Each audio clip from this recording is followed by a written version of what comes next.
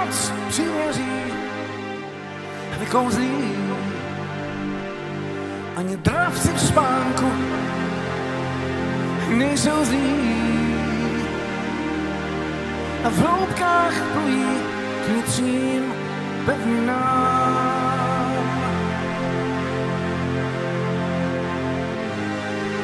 Soutěží, zátěží, tam svůj hlas nikdo nezmíží. Tam mluví k sobě pouze každý sám.